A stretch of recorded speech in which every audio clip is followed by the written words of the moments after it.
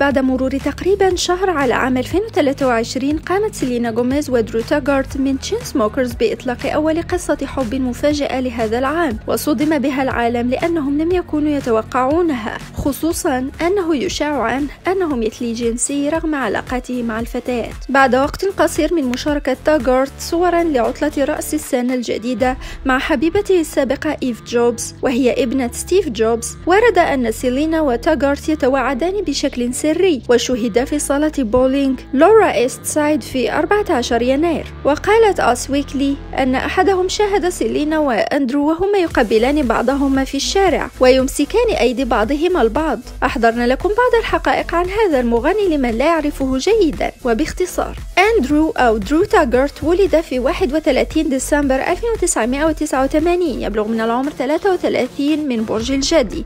ولد في ولاية مين ونشأ في فريبورت قبل أن يذهب إلى الكلية في جامعة سيرياكيوز. أساتذته في المدرسة الثانوية قالوا أنه كان طالبا ذكيا مع اهتمام واضح بالموسيقى. وصفته والدته بأنه أصبح مهتما بالموسيقى لأول مرة عندما كان عمره خمس سنوات فقط وحصل على مجموعة من الطبول.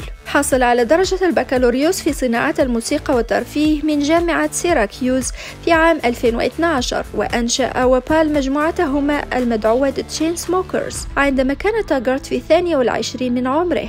وأصبحا منسقي الأغاني الأعلى أجرا في العالم حيث حققا أرباحا بقيمة 46 مليون دولار من يونيو 2018 إلى يونيو 2019 بسبب نجاح أغاني مثل Selfie Roses Closer و Don't Let Me Down وقام بجولة عام 2014 و2019 قبل الإعلان عن توقفهما في عام 2020 وذلك بسبب وباء كورونا. وأصدر في 2022 ألبومهما الرابع بعنوان So Far So Good ويدير الاثنان أيضا صندوق VC Mantis قضى تاغارت بعض الوقت في العلاج النفسي وانفتح لمجلة Billboard في مايو حول لحظة صحية عقلية صعبة مر بها قبل وقت قصير من بدء جائحة كورونا. قال كنت في مكان مظلم في نهاية عام 2019 كنت أتناول مضادات الاكتئاب دائما.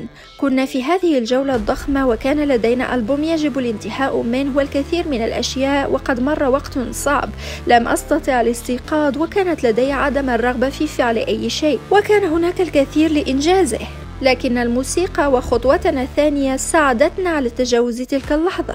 ليس على الاثنين الكثير من الجدل ولقد احتل تاغارت وبال عناوين الصحف في أوائل يناير من هذا العام بعد إفصاحهما عن انخراطهما في علاقة جنسية ثلاثية مع المعجبين في بودكاست كول هير داري حيث قال بال لقد كنا في فندق في أوروبا وكانت الأسرة متصلة فكنا مجبرين على النوم معا ففعلناها لكن لم يتم التخطيط لها أبدا. وتجدون مقطعا يفسر هذه الأشياء بالتفصيل الممل في أول تعليق.